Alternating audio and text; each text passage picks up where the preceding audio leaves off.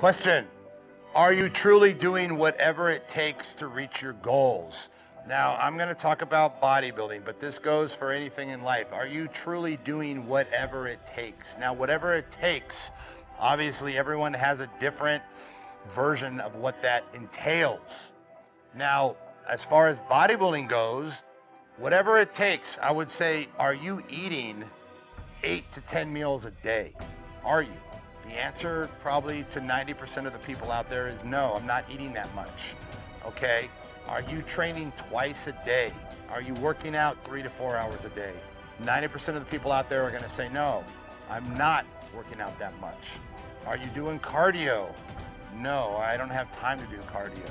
90% of the people will say. Now, whatever it takes, when you look and you see the guys on the Olympia stage, it's very easy to say, oh, they're taking steroids. They're taking more drugs than me. That's why they're up on the Olympics. No, motherfucker. They're working harder. Give people credit where credit is due. They are working harder than you. They have been doing it longer than you. They are willing to do whatever it takes. Now, yes, they take steroids. Of course they do. But give credit where credit is due. These guys are training like maniacs. They're eating like maniacs. They're on the step mill for an hour a day, some of them two hours a day. Have you ever ridden the step mill? Get on that motherfucker and ride it for an hour straight, and you'll see what I'm talking about. It kicks your fucking ass. Eating eight to ten times a day is hard.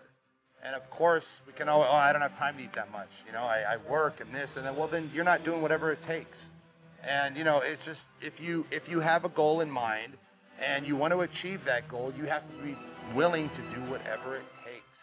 And if you're not, you're never going to reach that goal. You're going to be the guy sitting on the couch saying, "Oh, they're taking steroids. That's why they're taking more steroids than me."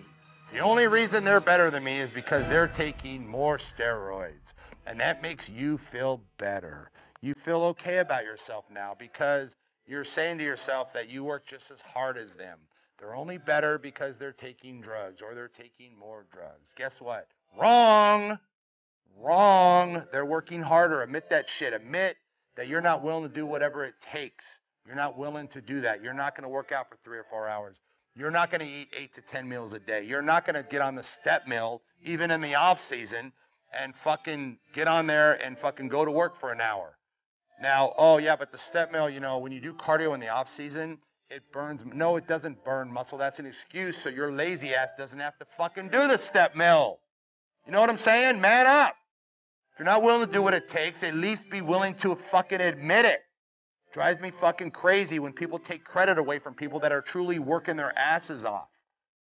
So, do whatever it takes. Reach your goals. Make your dreams come true in whatever it is in life and you can always do more.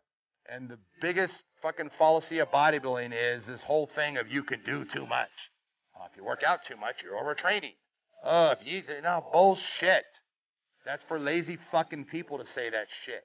Oh, it's, I've been training an hour. I better not train any longer because I'm going to be overtraining and I'm going to fucking tear my muscles down. So you leave the gym. No, you fucking work out for three or four hours. The more you put into anything, the more you get out.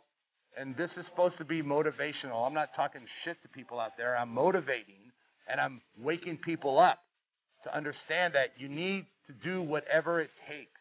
If you're working on opening a business, you need to be working on that shit 16 hours a day. You want to make that shit successful? Then you need to be busting your ass, doing whatever it takes, putting everything into it.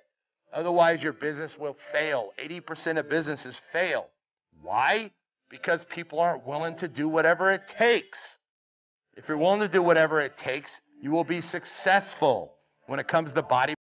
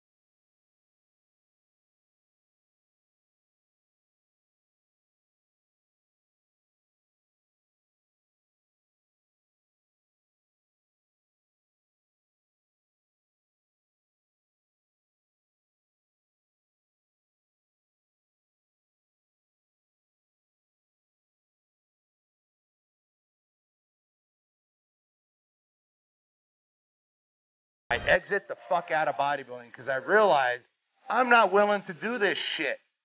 It's fucking, I'm sorry, but that's too much. So I'm gonna go into something like fucking opening a business, fucking buying things that I can put everything into. And you know what? I'm fucking damn happy I made that decision because I'm making lots of money and I'm successful and I'm fucking happy. Anyway, I hope this helps.